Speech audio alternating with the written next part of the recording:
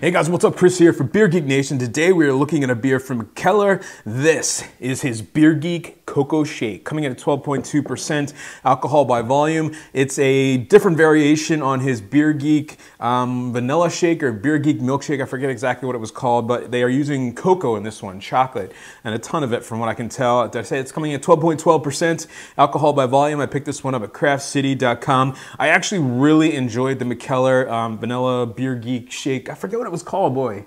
I just had it, but oh well. Um, it was really, really good stuff, and he's really kind of come be, become known for that beer. It's become a really popular beer, so it's cool to see him doing variations. It comes in one of those 11.2 ounce bottles. So with that said, let me get into a glass so you guys know smells, tastes, and get the final verdict on the Beer Geek Cocoa Shake. All right, guys, so the aroma on the Beer Geek Cocoa Shake.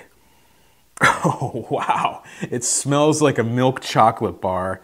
A little bit of vanilla, cocoa, cocoa, cocoa. I, if you have any, if you've ever had that cocoa, the Hershey's cocoa powder, when you open it, that's what it smells like. I mean, it smells like cocoa powder, like a Hershey's milk chocolate bar.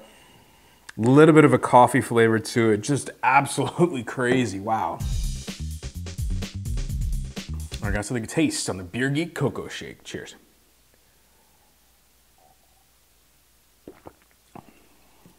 Wow. That is a lot of chocolate. Wow. Right at the front of the tongue, you're immediately getting bombarded with big, sweet um, milk chocolate, cocoa powder, middle of the mouth. You get a nice kind of dark fruit, subtle dark fruit component to it, a little bit of vanilla, kind of sweetness in there, but just cocoa, cocoa, cocoa. A little bit of dark chocolate in there as well, some bitterness from a dark chocolate. Uh, big sweet aftertaste in the aftertaste. More chocolate, more cocoa I'm getting a little bit of heat from the alcohol, maybe a little bit of sweetness from it, but it's not overwhelming at all.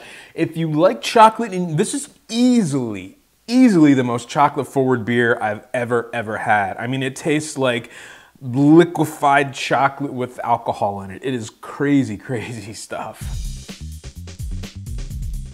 All right, guys, so the final verdict on the Mikkeller Cocoa Shake, 12.12%, available now. You can pick it up at Craft City, guys. Going to give this one a B+. plus. If you like chocolate in your beer, you're probably going to want to pick this one up. This is by far the most chocolate-forward beer I've ever had. Uh, blows that Southern Tier chocolate beer out of the absolute water.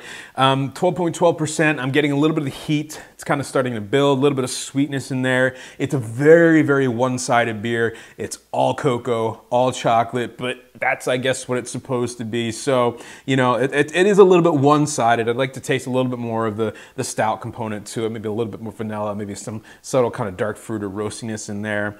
Um, it's there, but it just gets clobbered down by the, uh, the cocoa. So with that said, very, very chocolatey, lives up to the name, getting a B+. plus. Remember, folks, life's too short. Drink amazing beers. Cheers.